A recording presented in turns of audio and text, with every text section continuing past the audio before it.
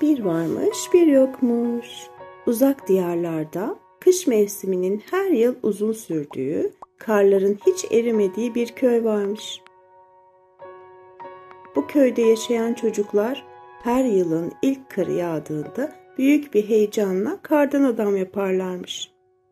O yılda kar taneleri yavaşça yere düşerken çocuklar büyük bir hevesle dışarı çıkmışlar. Köyün en şirin çocuğu olan Elif, en büyük ve en güzel kardan adamı yapmak için kolları sıvamış. Kocaman bir kar topu yuvarlamış, sonra bir tane daha ve en sonunda üçüncü kar topunu da yapmış. Üç kar topunu üst üste koyup kömürden gözler, havuçtan bir burun ve eski bir şapkayı da başına takınca kardan adam tamamlanmış. Çocuklar neşeyle kardan adamın etrafında dans etmişler. Ona şarkılar söylemişler. Ancak Elif'in aklına bir soru takılmış. Acaba kardan adam hiç üşür mü? diye düşünmüş.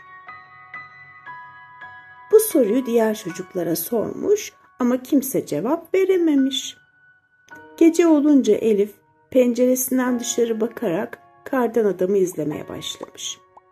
Acaba kardan adam üşür mü? diye kendi kendine mırıldanmış. O gece çok soğukmuş. Elif yatağında sıcak battaniyesine sarınırken bile üşümüş. Aklında sürekli kardan adam varmış. Acaba kardan adam üşüyor mu? düşüncesiyle uykuya dalmış. Rüyasında Elif kendisini kardan adamın yanında bulmuş. Kardan adam canlıymış ve Elif'e gülümseyerek bakmış. Elif hemen sormuş. Kardan adam hiç üşüyor musun? diye sormuş. Kardan adam nazikçe gülümseyerek cevap vermiş. Hayır Elif, biz kardan adamlar karın ve soğuğun içinden geliriz.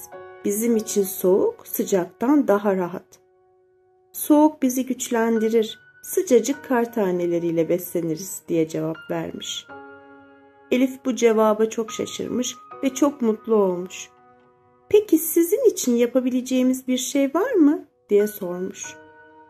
Kardan adam yine gülümseyerek bize sevginizi verin, bizi neşeyle yapın ve bizimle vakit geçirin. Bu bizim için en büyük mutluluktur demiş. Elif rüyasından uyandığında çok sevinmiş. Kardan adamın üşümediğini, aksine soğuğu sevdiğini öğrenmiş. Hemen dışarı koşmuş ve arkadaşlarına bu rüyayı anlatmış. Hepsi çok şaşırmış ve çok mutlu olmuşlar. Artık kardan adam yaparken daha da mutlu oluyorlarmış. Çünkü biliyorlarmış ki kardan adamlar onların sevgisiyle güçleniyormuş. Köyün çocukları her yıl daha büyük ve güzel kardan adamlar yaparak onların etrafında oyunlar oynarlarmış. Ve hep hatırlarlarmış. Kardan adam soğuktan güç alırmış ve en çok sevgiyle yapılan kardan adamlar mutlu olurlarmış. Bu yüzden her kış köyde neşe hiç eksik olmazmış ve kardan adamlar hep gülümsermiş. İşte böyle Elif ve arkadaşları kardan adamların üşümediğini, aksine sevgiyle daha da güçlendiklerini öğrenmişler. Hep birlikte mutlu bir şekilde yaşamışlar.